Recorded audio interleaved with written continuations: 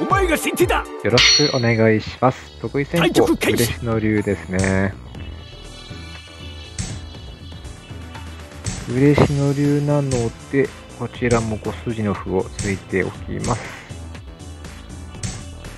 で、銀上がって、角上がって、向かい飛車にしていきます。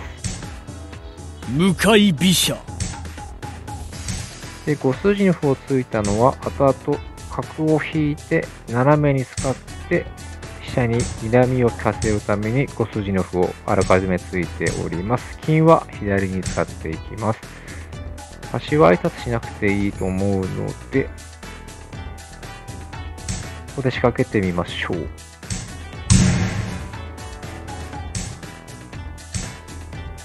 引いて、そこで斜めに上がって、下に睨みを利かせようと思っています。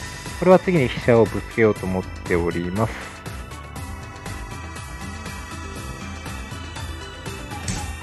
これは反対に歩を打って、歩を回収しようと思います。ああ、うまいですね。2分30これは秒取れないので、一旦下がります。ああ、うまいですね。手で睨みを利かしといて、これはどう ?OK。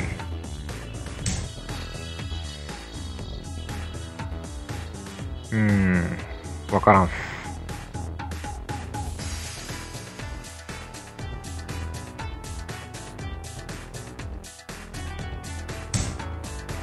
わからないんで、端で様子を見ます。これは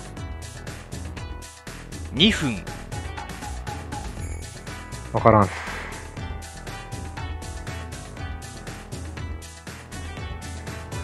と、切るのは早いので、あ、そっち。